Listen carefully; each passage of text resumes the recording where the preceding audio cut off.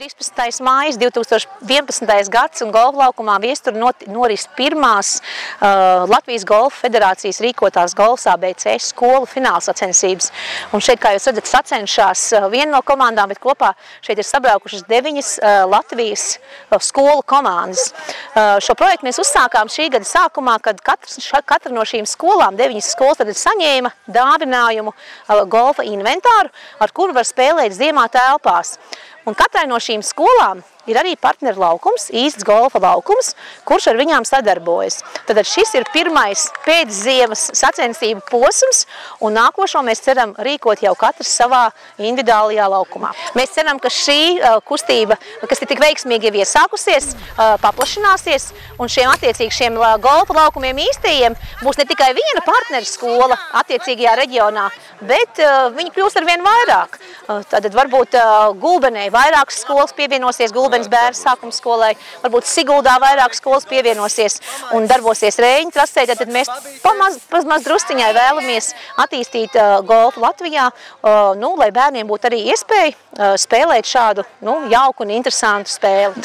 Projekts ir tapis sadarbojoties Latvijas Golfa federācijai ar visiem Latvijas golfa laukumiem un sadarbībā arī ar Royal Nation, kas ir senā un karaliskā antīkā golfa organizācija pasaulē, tad ir šī jumta organizācija, kas palīdz golfa attīstībai visā pasaulē.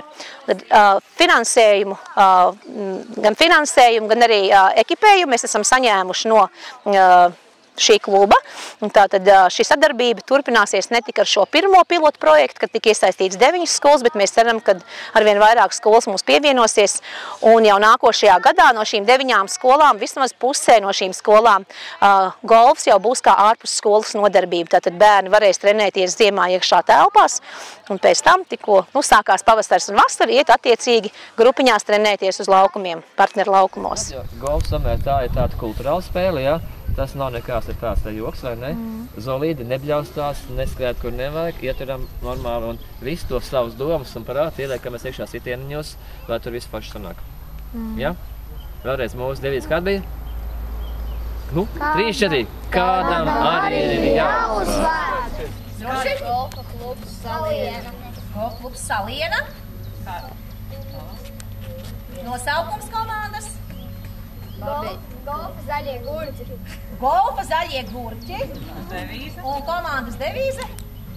Nu, esiet droši. Babīte, labākie, babīte, stiprākie, babīte, labākie, stiprākie un ātrākie. Pie galviņas tēlips, o, pie dibena arī lips kaut kas. Pie kājām. Tātad jūsu uzdevums. Ameļa krāpu nepielīdz. Valt nesteigties. Skolotājai uzdevums kustēties tā, lai visas bumbas trāpītu. Tā disciplīna sauc grozā, grozā. Divreiz. Tātad uzdevums ir tā, katrs pienākam pie stienu vietas pa diviem reizē. Mērķis trāpīt mums ir grozā. Trāpām grozā, komandai 5 punktī. Labi! Komandas nosaukums. Driveri. Driveri. Tas kaut kas no golfa ir. Un devīze? Lai jūs labākie, jo labākie esam mēs. Somiņš mums ir malacis. Tā mums ir no lielas ģimenes, daudz bērnu tajā. Cik jūs to viņa ģimenes? Desmit bērni. Jā. Un kurš ir vecākais, kurš ir jaunākais? Es. Ai, vispār nopūdulē visu sitienu. Viņš ir ārā un tagad pieci sitieni. Vispār neapmienās savu izdarījumu.